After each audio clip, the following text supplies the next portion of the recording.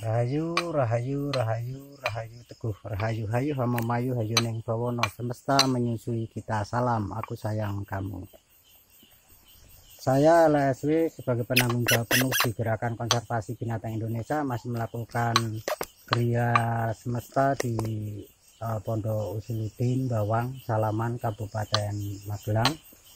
Nah, hari ini kita ngaji membuat pipo ini membuat pipa rokok dari kulit manggis.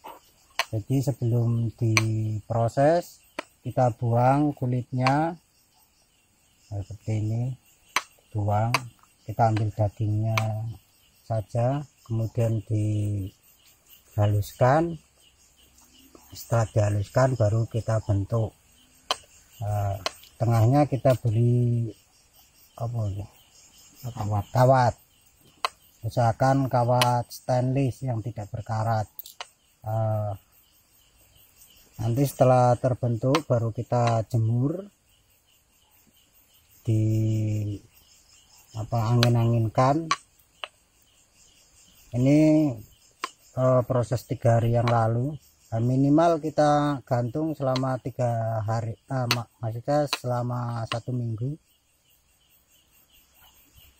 di dalam ruangan itu akan lebih uh, jadi uh, kulit manggis ini tidak hanya digunakan untuk herbal tapi dulunya uh, orang-orang Bugis juga menggunakan kulit manggis sebagai dempul kapal kemudian orang-orang tua kita di Jawa menggunakan uh, kulit manggis ini uh, sebagai perekat dinding anyaman bambu. Jadi prosesnya hampir sama. Ini diadon kemudian ini ditempelkan di anyaman bambu. Jadi nanti bentuknya hampir seperti papan. Pondok Nur Muhammad berencani Pak Kiai kuliah. Ini juga salah satu bentuk usaha untuk mengkonservasikan budaya. Karena uh, untuk saat ini sangat miris. Kita sudah terlalu uh, apa ya terlalu lama tercabut dari akar budaya. Dan di masa-masa yang kritis nantinya orang-orang yang selamat hanya orang-orang yang mengenal alamnya mengenal budayanya. Ini juga salah satu cara kami untuk mensyukuri nikmat Tuhan. Jadi nikmat tidak hanya apa ya selesai di mulut tapi juga bagaimana kita uh, mengolah atau memanfaatkan ciptaan Tuhan. Karena semua hal semua makhluk yang diciptakan Tuhan pasti ada manfaatnya.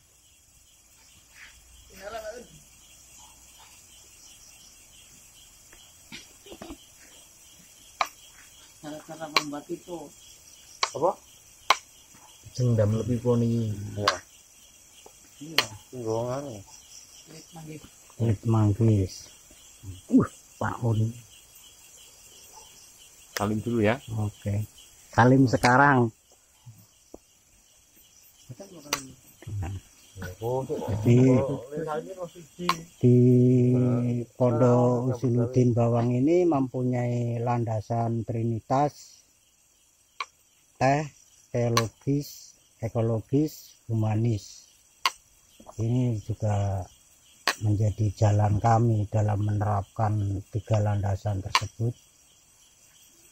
Kita bicara dari membuat pipo ini kita juga berbicara hubungan kita pada Tuhan hubungan kita pada sesama ini juga sudah bentuk humanis. Kita belajar bersama Nah, jadi semua orang menjadi guru, semua orang menjadi murid.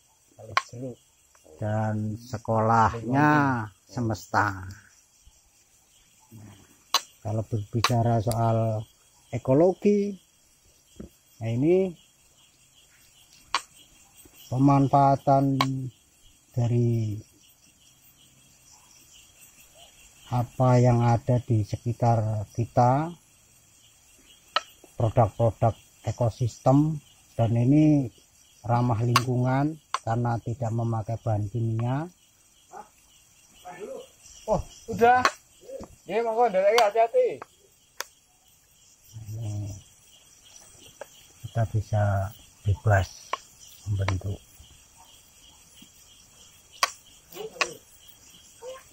nah, selain kita bisa bebas membentuk ini juga nanti akan mempengaruhi aroma aroma rokok dan kulit manggis banyak digunakan untuk herbal. Jadi kita sekaligus ngemut jamu. Jadi setelah apa namanya nanti setelah kering baru kita amplas kayak gini. Nah, ini. Baru kita gosok pakai kain.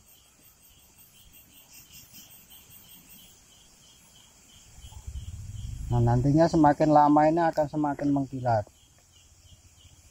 Seperti ini.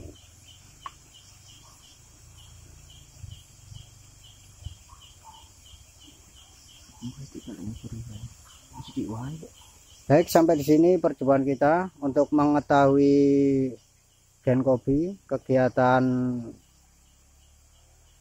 Gerakan Konservasi Binatang Indonesia di Pondok Usuludin Bawang. Anda bisa mengikuti eh, di channel kami di Gerakan Konservasi Binatang Indonesia atau mengetik hashtag Gen Kopi dan hashtag Usuludin underscore Bawang. Terima kasih. Rahayu, rahayu, rahayu, teguh, rahayu, hayu, hamamayu, hayu, neng bawono, semesta menyusui kita. Salam, aku sayang kamu. Yo, nita. Kak nita, nita, ora-ora. Ini wae.